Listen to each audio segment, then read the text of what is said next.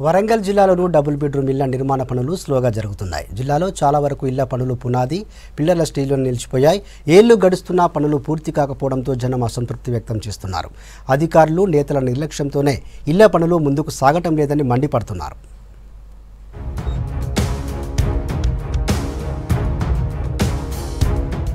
వరంగల్లో double bedroom ఇళ్ళ పనులు స్లోగా జరుగుతున్నాయి. రెండు వేల పదిహేనులో ప్రభుత్వం ఐదు వేల ఇరవై ఒక్క డబుల్ బెడ్రూమ్ ఇళ్ళ పనులు ప్రారంభించింది. ఇప్పటి వరకు ఎనిమిది వందల అరవై ఇళ్ళు మాత్రమే పూర్తయినట్లు అధికారులు చెబుతున్నారు. మిగతావి దసరా వరకు పూర్తి చేయాలని అధికారులకు డెడ్ లైన్ పెట్టారు జిల్లా మంత్రులు.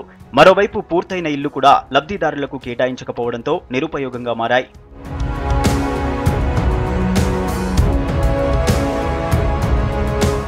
నిర్మాణ దశలో ఉన్న మూడు వేల తొమ్మిది వందల ఇరవై ఏడు డబుల్ బెడ్రూమ్ ఇళ్ళలో చాలా వరకు పునాది దశలోనే ఉన్నాయి. ఇంకొన్ని చోట్ల పిల్లర్లు బెడ్ వర్క్స్ పూర్తయ్యాయి. చాలా చోట్ల పనులు నిలిపేయడంతో ఇళ్ళలో పిచ్చి మొక్కలు పెరిగాయి. జిల్లా మంత్రులు వచ్చే దసరా నాటికి లబ్ధిదారులకు ఇల్లు పంపిణీ చేస్తామని చెబుతున్నా ఆ పరిస్థితి కనిపించడం లేదు.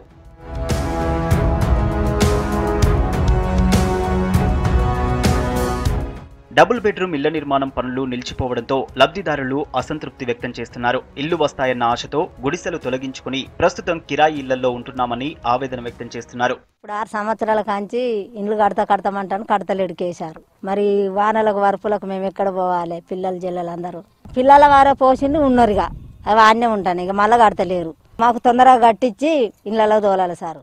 వారు మాది దూపకుండా మాకు ఇల్లు ఇస్తానని ఇల్లు లేదు ఇల్లు కూలిపోయినాయి. మేము బాగా అవస్థ పడతాను తినే ఉండాలన్నా ఇప్పుడు ఆరు సంవత్సరాల బట్టి. దిక్కుల కట్టిర్రు గోడలు కట్టిర్రు ఇడిచిపెట్టిర్రు. కొన్ని దిక్కుల పిల్లలు లేపిల్లు ఇడిచిపెట్టిర్రు. కొన్ని దిక్కుల కూలిపోతానే. అధికారులు నేతల నిర్లక్ష్యంతోనే ఇళ్ళ నిర్మాణ పనులు ముందుకు సాగడం లేదంటున్నారు. ప్రభుత్వం ఇప్పటికైనా వెంటనే పనులు ప్రారంభించాలని డిమాండ్ చేస్తున్నారు.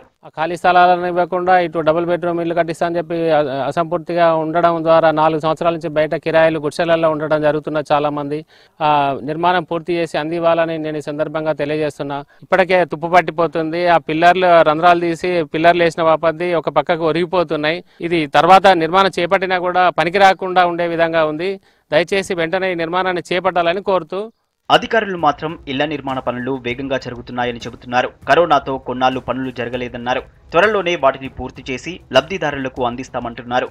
మనకు ఐదు వేల రెండు వందల ఇరవై ఒక్క హౌజెస్ అలా గవర్నమెంట్ నుంచి అలాట్ అయినాయి. పరిపాలన అనుమతులు వచ్చేసి ఐదు వేల డెబ్బై ఐదు హౌజెస్కి వచ్చినాయి. అదే ఐదు వేల డెబ్బై ఐదు హౌజెస్కు టెండర్స్ కూడా పిలవడం జరిగింది. మూడు వేల ఐదు వందల నలభై టెండర్స్ ఫైనల్ అయినవి. ఇంకా పద్నాలుగు వందల ఇరవై తొమ్మిది మనకు టెండర్ ఫైనల్ చేయాల్సినవి ఉన్నాయి. అందులో మూడు వేల నలభై ఎనిమిది హౌజెస్ కంప్లీట్ మొదలు పెట్టినాము. ఎనిమిది వందల అరవై హౌజెస్ కంప్లీట్ అయినవి. ప్రభుత్వం ఇప్పటికైనా డబుల్ బెడ్ ఇళ్ళ నిర్మాణం పనులపై దృష్టి పెట్టాలంటున్నారు జనం. నిలిచిపోయిన పనులను త్వరగా ప్రారంభించాలని కోరుతున్నారు. పేదలకు సొంతింటికల్లా రెండడుగులు ముందుకు మూడడుగులు వెనక్కి అన్నట్లుగా సాగుతుంది. డబుల్ బెడ్రూమ్ల ఇండ్ల నిర్మాణంకు ట్రబుల్ తప్పడం లేదు. రెండేళ్ళలోనే పేదలందరికీ డబుల్ బెడ్రూమ్లు అందజేస్తామని ప్రజాప్రతినిధులు గొప్పలు చెప్పినా ఆరేళ్ళు గడిచినా అందరి ద్రాక్షగానే మారాయి. ఇప్పటికైనా ప్రభుత్వం దృష్టి సారించి డబుల్ బెడ్రూమ్ ఇళ్ళ నిర్మాణంలో వేగం పెంచి పేదలందరికీ సకాలంలో అందజేయాలని కోరుతున్నారు. మీడియన్స్ గిరితో అశోక్ ఫిజిక్స్ న్యూస్ వరంగల్.